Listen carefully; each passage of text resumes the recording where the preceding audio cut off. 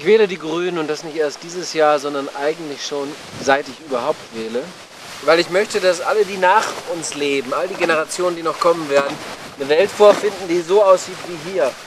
Und nicht so wie so manche Industriebrache in unserer Republik oder in vielen anderen Ländern auf dieser Welt. Ich glaube, die Grünen sind die einzige Partei, die für die Dinge, die sie im Wahlkampf und auch vorher schon behaupten, zu sein, auch wirklich dann einstehen. Die Realität hat uns ja längst eingeholt und all diese Dinge schreiben sich andere Parteien jetzt auch in ihre Programme gegen die Atomkraft oder wenn, dann müssen wir bald aussteigen.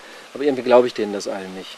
Weil am Ende bleibt dann doch wieder übrig, dass man diese ganzen Bonzen, die in diesen Energieunternehmen sind und die ganzen Banker, die leichten Herzens so viel Geld verbasseln und dann trotzdem sehr reich weiterleben, letztlich nicht in den Arm fällt, letztlich nicht zu denen sagt, pass auf Leute, so nicht weiter, sondern wenn es dann der politische Alltag wieder erlaubt, macht man gut Geschäfte mit denen weiter, weil man möchte sich auch nichts vergeben.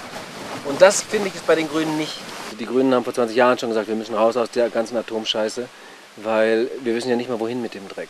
Diesem ganzen radioaktiven, verseuchten Müll, den irgendwie nur, ja, lagern wir mal zwischen. Allein das Wort zwischenlagern bei einen, einer Sache, die zigtausend Jahre strahlt, und zwar hochtoxisch strahlt, äh, ist schon ein Unding. Sowas musst du entlagern, und zwar sicher entlagern für die Ewigkeit. Und wenn du das nicht kannst, dann darfst du es nicht machen. Und dafür haben die Grünen immer gestanden.